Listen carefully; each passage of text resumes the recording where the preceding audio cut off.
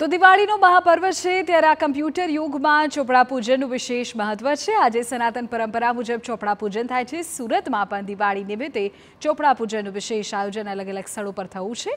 આજે વેપારીઓ ચોપડા પૂજન કરે છે. બિલ્ડિંગ કન્સ્ટ્રક્શન સાથે સંકળાયેલ અલગ અલગ જે લોકો છે તે પૂજાપાઠ કરતા હોય છે, ત્યારે સુરતની અંદર એક જે વેપાર વર્ગ છે તે વેપાર વર્ગ છે પોતાના આજના જે દિવાળીના દિવસે છે, પોતાના ધંધા અંતે જે રીતે પૂજાપાઠ કરતા હોય છે પોતાની જે ઓફિસ હોય છે, અથવા તો જ્યાં જે તેમનો જે રોજગાર જે ધંધો હોય છે, ત્યાં પોતાની જે ફેમિલી સાથે પૂજાપાઠ કરતા નજરે પડી રહ્યા છે. અત્યારે જોઈ શકાય છે કે બિલ્ડર લોબીના જે લોકો છે પણ તે આ રીતે આજે પૂજાપાઠ પોતાના પરિવાર સાથે ઓફિસની અંદર કરતા નજરે પડી રહ્યા છે.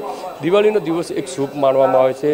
લોકો છે આ દિવસે પોતાના પરિવાર સાથે આજે પૂજાપાઠ કરતા હોય છે. અત્યારે આધુનિક જમાનો જે કહી શકાય છે, આધુનિક જમાને સાથે જે રીતે લેપટોપ છે, જે છે તેની પણ પૂજાપાઠ જે કરવામાં આવી રહી છે, જોઈ શકાય છે કે અત્યારે વિધિવત જે છે તે પરિવાર સાથે મળી અને જે પૂજાપાઠ કરવામાં આવી રહી છે.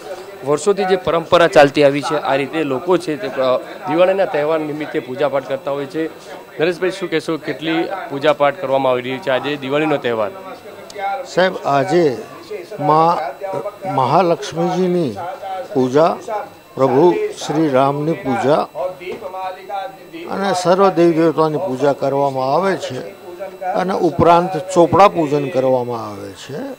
હવે ચોપડા પૂજનમાં તો હવે કાગળ તો નીકળી ગયા. માન્ય વડાપ્રધાનશ્રીનો જે સ્વપ્ન હતો હાઈટેક ઇન્ડિયા, એમાં અમે પણ સહકાર આપીએ છીએ. અને હવે ચોપડાની જગ્યા લેપટોપ આવી ગયા છે.